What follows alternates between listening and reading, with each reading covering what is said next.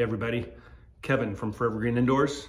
We're here in our test grow, and today I want to talk about our hottest selling new product. This is the AROYA SOLUS.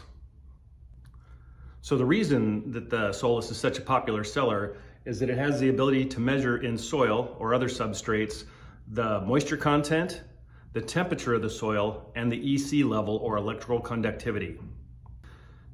EC is a critical measurement in growing. It's the ability to understand the level of nutrients in your soil between the time you've watered the soil and it's fully saturated and to when it dries out. There's an ideal time to take the measurement, and when you do, you can understand whether or not you've been feeding the plants enough fertilizer or too much.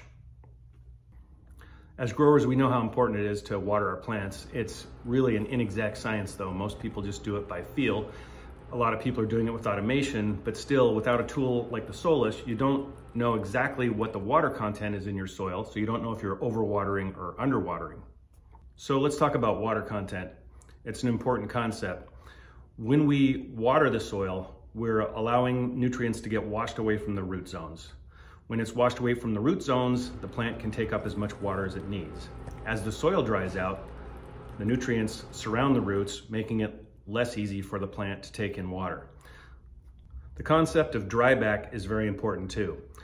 When we fully saturate the soil, it takes some time based on the plant's growth phase and how thirsty it is to, for the soil to dry out. And as it dries out, the root zone of the plants tend to become blocked by the nutrients in the soil and from the feed that we've been providing it. When we apply just fresh water, we're washing down that root zone, washing away those nutrients and allowing the plant to take up the water that they need to be as healthy as possible. When we apply fresh water and feed, we're adding nutrients to the soil, but when we first apply the water and it's fully saturated, it takes a while for the soil to dry back and for the plants to receive all that nutrition, which then again begins to constrict the plant's ability to uptake water. And the cycle repeats itself. The next time we water, we're going to wash the nutrients away from the root zone. If we water and feed, we're putting more nutrients in the soil, which are going to block the roots' ability to uptake water as they dry back.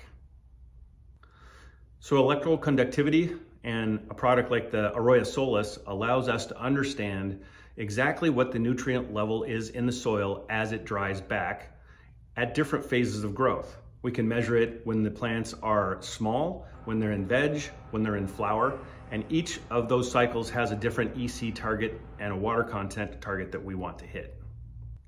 Want your own AROYA SOLUS? Find them on Amazon.